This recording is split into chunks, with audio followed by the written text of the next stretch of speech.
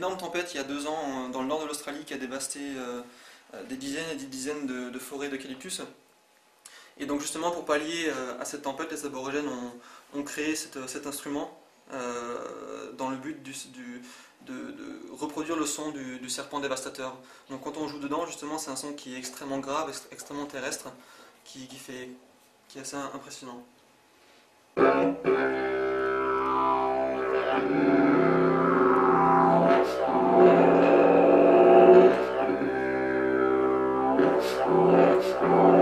Yeah.